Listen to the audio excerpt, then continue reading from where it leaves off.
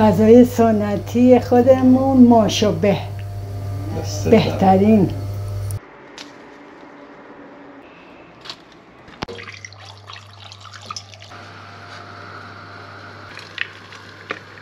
چوبه ویشان فلفل سیاه فلفل قرمز و یه چوب دارچین.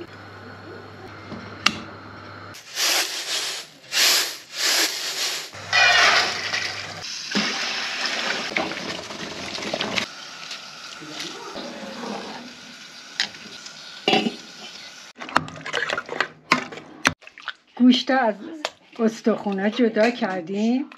الان میکوبیم کاملا له بشه که به صورت ریش ریش در بیاد و به بقیه موادمون اضافه می‌کنیم.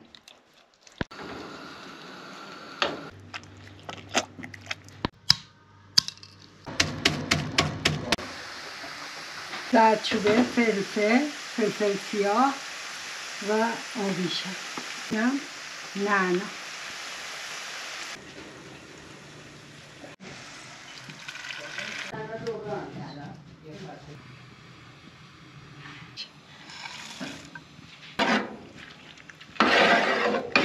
قدیم به این مرحله که می‌رسید می‌کردیم لا آتیش که به قول محلی ها می‌گفتیم لا خولی.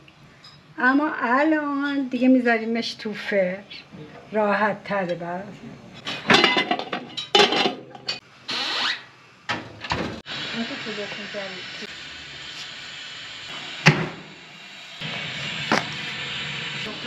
他妈熊！